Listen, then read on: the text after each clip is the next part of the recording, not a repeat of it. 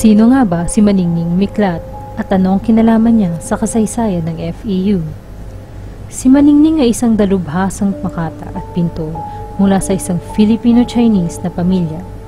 Ipinanganak si Maningning sa Beijing, China, ikalabing lima ng Abril 1972 mula sa mga badyaw na magulang na nakabase doon.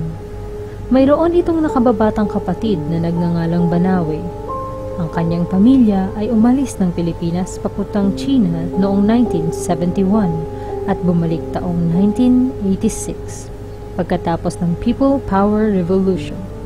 Siyang taon din na pagbaba ng dating Pangulong Ferdinand Marcos mula sa kapangyarihan. Matatas si Maningning sa tatlong lengguwahe, Mandarin Chinese, English at Filipino. Nakapagtala ito ng di matatawarang likha, libro mga pintang nagbigay karangalan sa ating bansa. Ipinablish nito ang kanyang unang aklat ng tula na pinamagatang Wo De Shi, My Poems. Nagkaroon ng kanyang unang solo show sa traditional Chinese painting na pinamagatang Maningning, an exhibition of Chinese brushworks.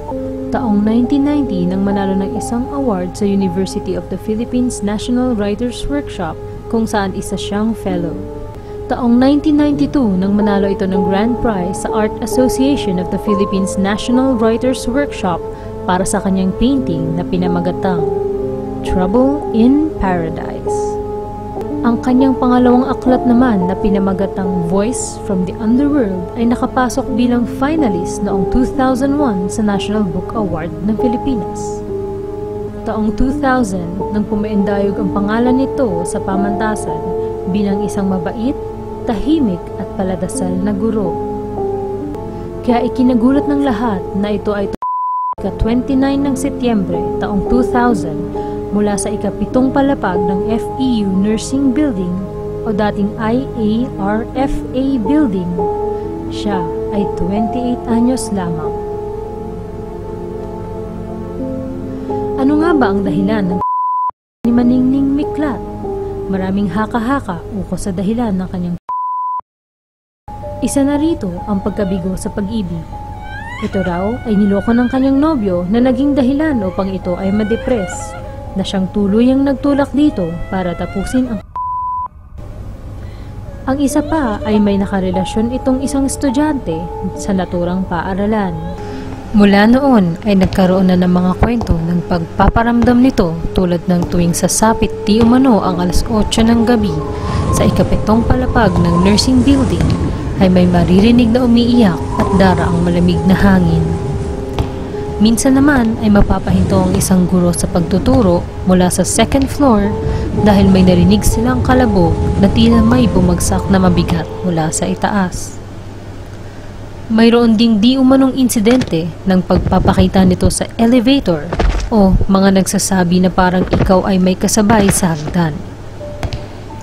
Isa pa dito ang kwento na may pumasok sa isang silid na mga nursing student sa ikapitong baitang at nagpakilalang siya raw si Maningning Miklat.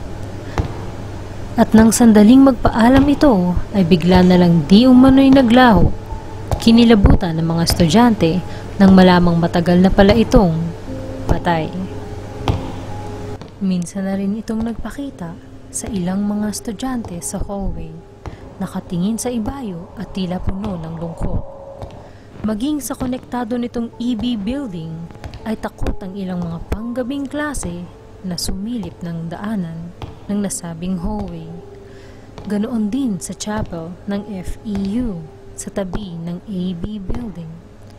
Nakikita raw tuwing gabi ang isang babaeng nakaputi at nakaluhod sa loob ng simbahan at sinasabi ng ilan na si Maningning daw iyon. Dahil noong siya ay nabubuhay pa, ay palagi itong nadadaan sa chapel para magdasal. Sa pagkawala ng kanyang buhay, ay nagsibol naman ito ng liwanag sa puso at isip ng mga susunod na henerasyon ng artists para sa musika, tula at pagpinta. Mula sa tula ni Maningning na pinamagatang Laughter. He left me when he could no longer stand the laughter that I gave him while he begged me not to keep memories. alive in poems to hurt myself and those who read.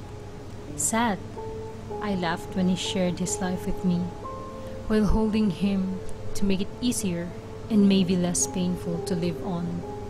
Laugh, I told him, but could not get his attention. Laugh, I asked him, but he left in anger.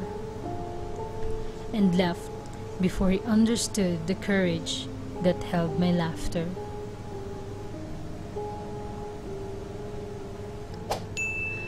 Para sa mas maraming kasaysayan, mag-subscribe at i-like ang video na ito. Pindutin din ang notification button.